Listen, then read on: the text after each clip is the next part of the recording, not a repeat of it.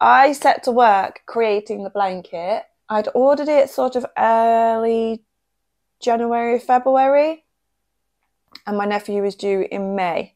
And I set to it, made the blanket, and I had it all put together.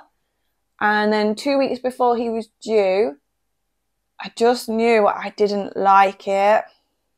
So, having made an entire baby blanket, I then took it apart. Good morning, team. Welcome back to HGDC, HG Designs Crochet.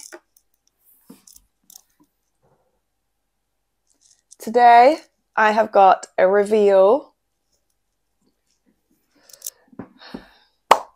I've finished my nephew's blanket. Want to see? I'm going to gift this later today. And of course, I needed to show you before it goes. I spent a couple of hours last night doing the finishing touches. I always know the finishing touches take the longest and it, it kind of puts me off because it's not crochet, you know? But it's done and it's in here. I order these magnetic boxes and then I have my logo custom printed and I will place links below for the boxes. I will also link below the small business that I get my vinyl from and then I apply it to the box. The boxes come flat packed so I it's got like sticky tabs in the corner so you build the box so to speak and then I put the vinyl on and then inside is the blanket let me talk to you about the yarn because it was kindly gifted to me. We'll talk about the pattern and then I could do the big reveal.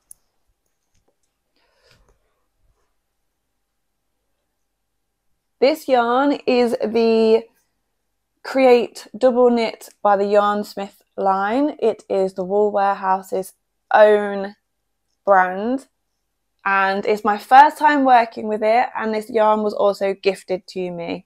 The lovely people at Yarnsmith reached out and said they would be happy to send me some yarn. Did I have any projects in mind? And I knew I wanted to make my nephew's blanket, and I said, would they mind providing the yarn for that? My brother's girlfriend came round and picked out all of the yarn using my yarn pegs, which are created by Eliza and the Giraffe. Again, I will link below. Before I open this, two things. I want to say thank you to my testers, my testy besties, who arranged this for me as a um, secret Christmas gift. Is it a Christmas gift? Gosh, the time has flown so quickly. This arrived when I was in a bit of a hole, and to come home, I'd had a really, really tough day with personal life things and I came home and this was waiting for me and it, it made me cry but in a happy way so thank you so so much to my testy besties for arranging this the other thing I will say is that when they came they were all neatly lined up wrapped in the tissue paper and they were beautiful since then my toddler tornado has been through this numerous times so the presentation, current presentation is all on me. all on me. Here are my yarn pegs. And my brother's girlfriend went through and picked out the colours that she wanted to have in her blanket, two of which are here. And see if I can pick the others. She picked out the colours that she wanted. I emailed um, Yarnsmiths Wool Warehouse, and then a huge bag of yarn arrived. The colours that she picked are linen, and I believe that was the joining colour, so she went with linen, which is 3061, oatmeal, which is a very close in shade but a bit warmer and slightly more on the brown side, and that is 3064. And then she also went with latte. So we're going up the brown here. Please excuse my chipped nails. YouTuber fail. she also went with Brown Bear, which I was really pleased about because, as you all know, my son is called Teddy. So I like the fact that his cousin was going to receive something with like the bear reference. And then she wanted sky blue in there, just a pop of blue.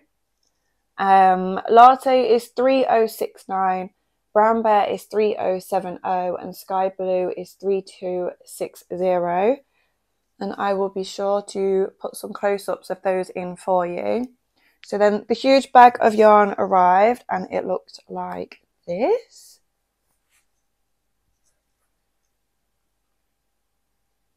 These are the colours.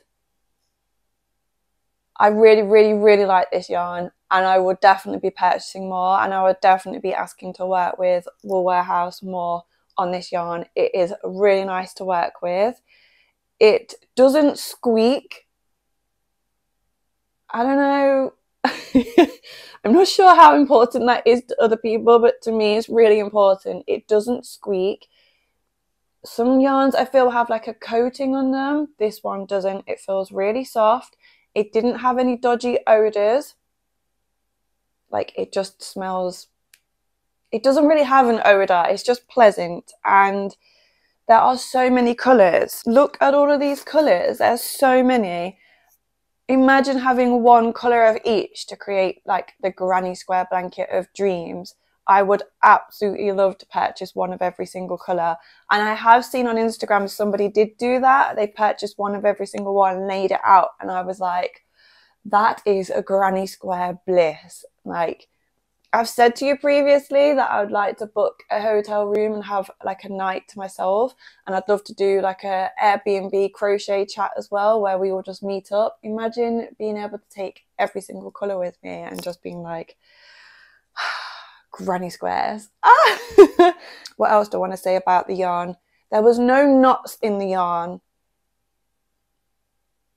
I'm not sure how professional this review is, but these are my true personal opinions. There are no knots in the yarn. It really, really winds me up when you get balls of yarn and they've just got knots throughout them. I didn't find one single knot and I used up quite a lot of the yarn. The other great thing about the yarn is it's not too stretchy.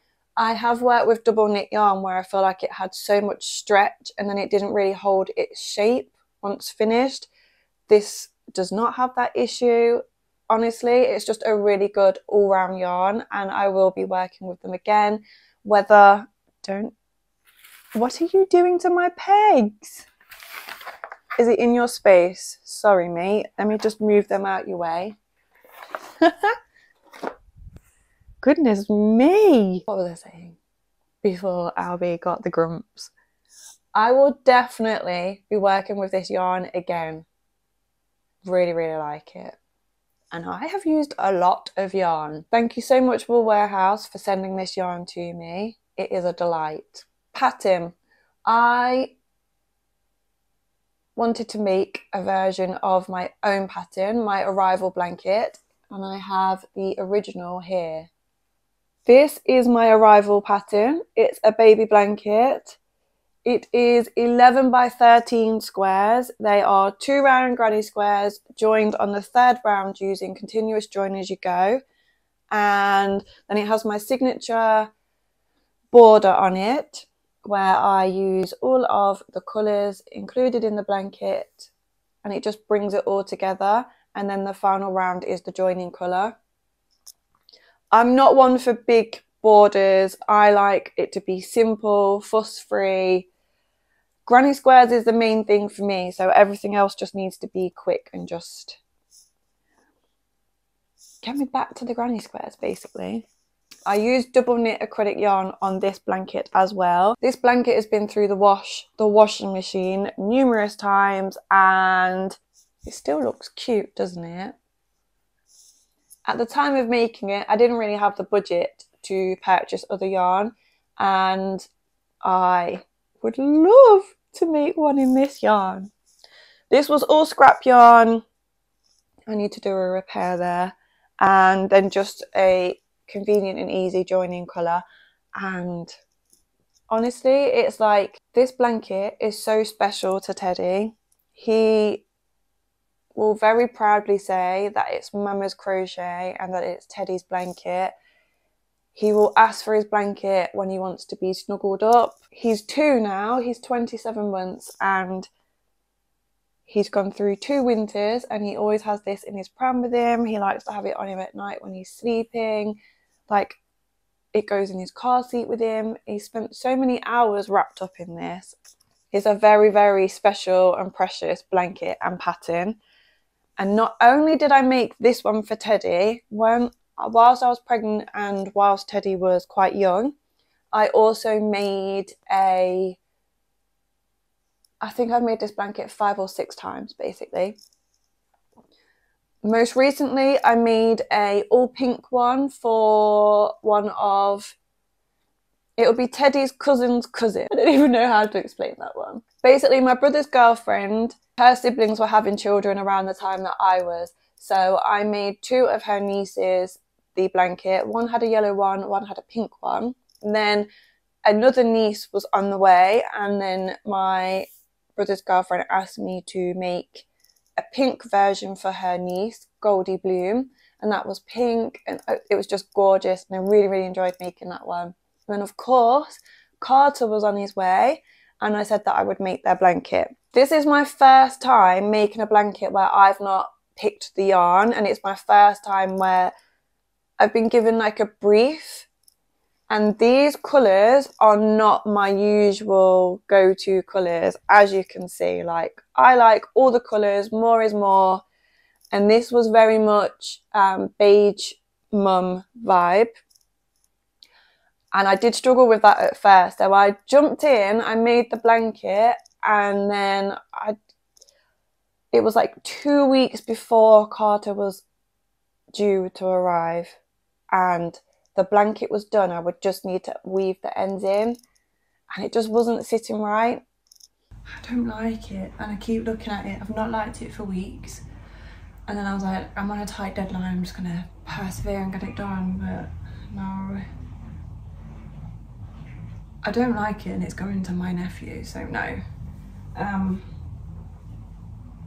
I'm gonna redo it.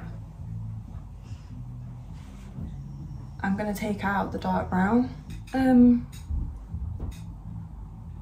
eventually I'll show her this footage and be like, the blanket was done weeks ago, but I just can't get behind it. And if I can't back, if I can't back myself, then I can't gift it. And I want it to be like spot on. It's my nephew, so uh, I'm gonna redo it, take out a load of the darker browns and put a lot more neutral in. I'm gonna make myself a little sample now. I just need to do it and get it done. It's got the potential to look really cute. I knew it wasn't right. I knew I couldn't gift it and be proud of it. It wasn't how I wanted it to look in my mind. So I ripped the entire thing down about two or so days before or after he arrived. And I started again. And I did really have an internal battle because I was like, um, if I start this again, they're not going to get it for some time because I have all of my own crochet deadline stuff coming up. And also, redoing it means that with the yarn that I was sent, I'm probably not going to have enough to make the matching cardigan. So, here we are now, all the way in September. And yeah, the guilt had started to get to me now. I really want to get this done and to them so they can enjoy it, especially now the weather has changed. I want my nephew to have his blanket. So, are you ready to see it?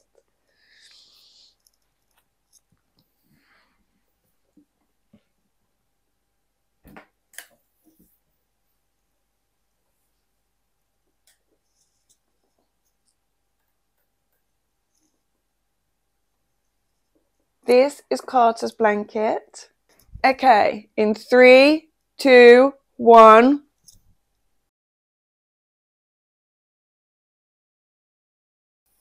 What do you think? This is Karter's blanket. He's Karter with a K. My brother also has a name that begins with K. So they're carrying that on. They've got their own Kardashian clan on the go. I went with the linen throughout and then I put very tiny pops of colour as you can see and there are 12 pops of colour and then one of the rows is completely blank for his name. Can you see? We've got the blue, we've got the oatmeal, and the browns. And then I didn't put the, so that the brown bear of the name would pop, I didn't include it in the blanket colours. So I've put latte in there, but brown bear was not one of the ones to feature. I also didn't put it in the border, which isn't usual for me, but again, I just wanted the name to really stand out. And I used a alphabet pattern to do the name, and I will link that below. Since I have discovered it, I just want to cover everything with names, absolutely everything. So I crochet the name and then I steam block it and then I actually use a glue gun to put it on. I found previously that trying to sew it on didn't really work well. With it being granny squares, you don't have like a consistent fabric behind where the holes are in the granny squares. It meant that you couldn't quite stitch it on and it, it just looked awful. And as long as you don't wash it on a wash that's too high, the glue won't come undone. So that is how I attach the name. What do you think? I've also made some matching dummy clips. I've made them really, really short. Obviously, this could be a choke risk. I've made two matching dummy clips. I did latte and I did brown bear. So you put the dummy through the loop and then you clip it onto whatever outfit or the blanket that the child has around them. And I've made them really short because my nephew is only like three, four months old and he's diddy as well. I didn't want there to be any choke issue. Whereas on the ones I make for Teddy, I make them a bit longer because obviously he's much older now.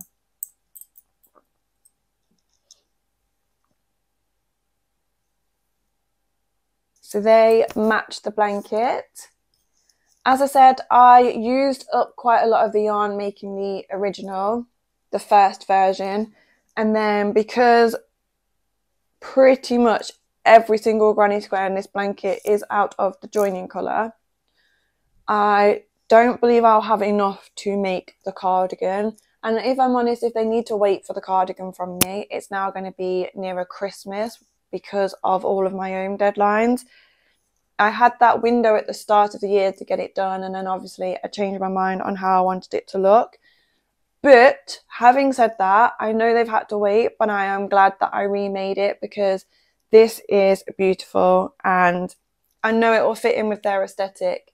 The little outfits that I've seen him wearing and the accessories that they've picked for themselves. So, what do you think? what do you think to Karter's blanket? And can you believe that these are the same blanket, it's just different colour choices? Which is why when you have access to a yarn line that has so many shades, the possibilities truly are endless.